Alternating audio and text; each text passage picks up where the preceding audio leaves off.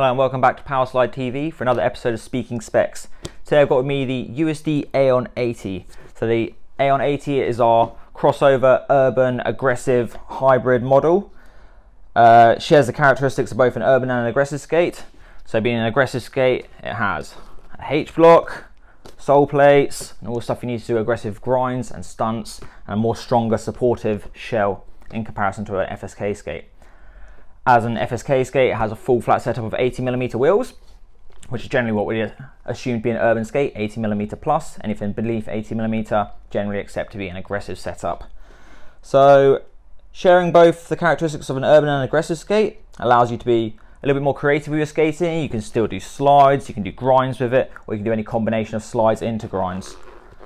Uh, as far as an aggressive skate goes, the sole plates are still very much a standard size, the frame is a little bit taller, of course, because it has to handle 80mm wheels. However, being a unibody concept, the 80mm wheel is actually countersunk into the boot. So compared to other 80mm setups on the market with, for example, a Trinity or a 165mm setup, uh, the ride height will actually feel a little bit lower and a little bit more comfortable. So for an urban skater coming into this, it will feel much more aggressive than you're imagining. Um, or much more similar to an aggressive skate than you're imagining. The 80mm wheels are Powerslide spinner wheels. They're 88A and a bullet profile, so they're very agile. 88A, they're reasonably hard enough, so when you do your grinds, if you do catch them a little bit, it shouldn't be too bad. As far as catching your wheels, I mean, it is quite a modest H block, so for an experienced aggressive skater, you'll actually find it quite a, it'll still be a challenging but very rewarding setup. So to do a Royale, for example, or a backslide, you're gonna have to get very low on it to make sure your wheels don't catch.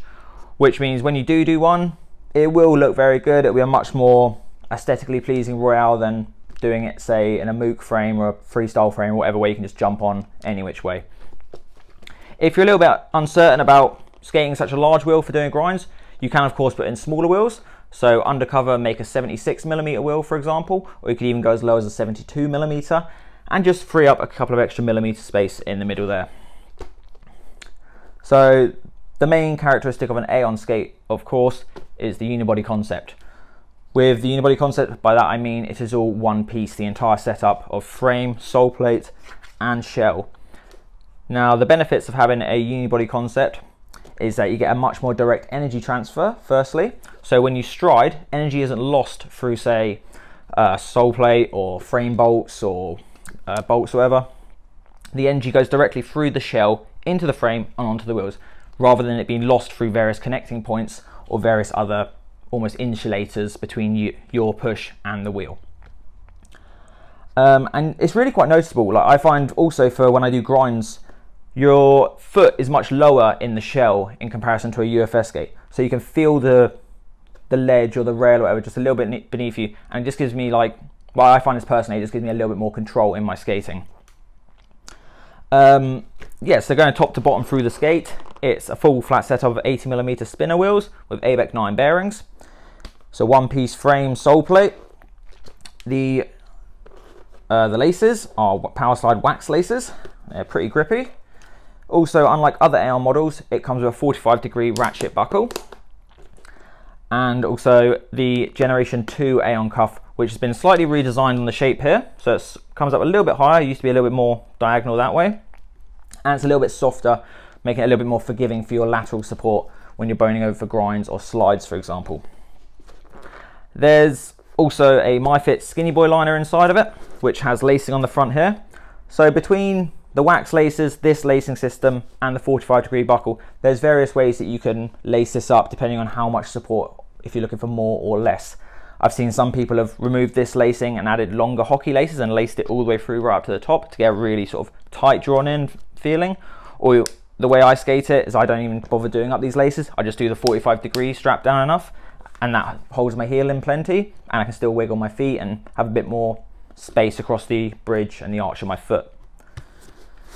The second, sorry, not second skin, the Skinny Boy liner, which is very similar to a second skin liner in the sense that it has a thin neoprene toe box, but a much more defined heel and Achilles padding. So the benefit of this is that when coupled with the 45 degree ratchet buckle, You can lock your heel in very nice and tightly, but still allow you to wiggle the bridge of your foot and your toes, allowing just a little bit more comfort for longer skating periods and longer sessions. The entire front of the toe box is neoprene, so from here all the way over here is also neoprene, but also as far back as the 45 degree. So this entire front bit is very soft and very flexy, but when you've got your heel locked in place, it just allows a little bit more comfort and freedom inside the skate.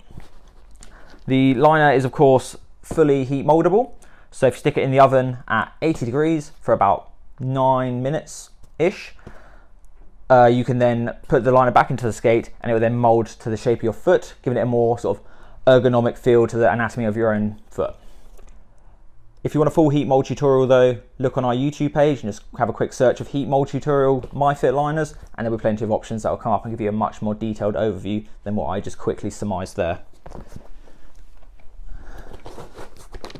Yeah, so again, part of the Aeon range. This is the largest size Aeon we do. There's the Aeon 60s, 72s and 80s. This is the probably the nearest to an urban skate.